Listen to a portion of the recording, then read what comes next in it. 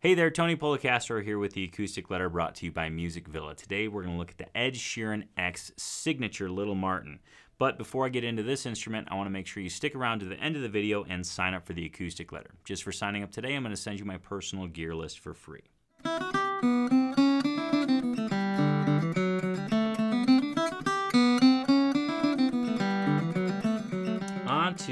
This little Martin that happens to be the Ed Sheeran X signature model. This is a convenient little guitar with a really cool thing. It's just got a cool thing attached to it. Has nothing to do with specs. It has everything to do with the fact that Ed Sheeran is donating 100% of his royalties from the sales of this guitar to East Anglia's Children's Hospices in the UK.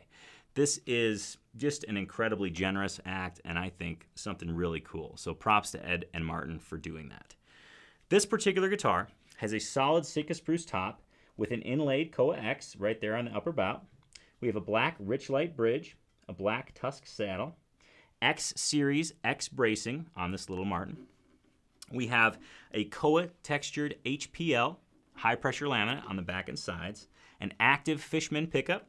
We have a Stratobond neck with a lower profile, black Richlite fingerboard with the green X's inlaid on the 12th, 9th, 7th, and 5th and 3rd frets.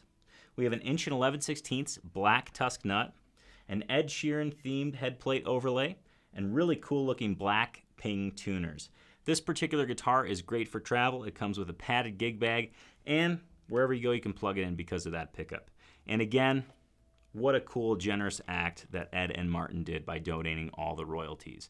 So, without further ado, I'm going to give the Ed Sheeran X Signature Edition Little Martin a play so you can hear what it sounds like.